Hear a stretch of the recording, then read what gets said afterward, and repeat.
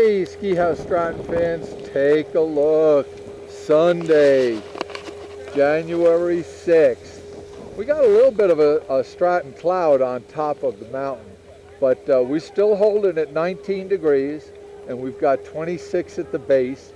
Visibility is good after about 25, 30 yards to the uh, base.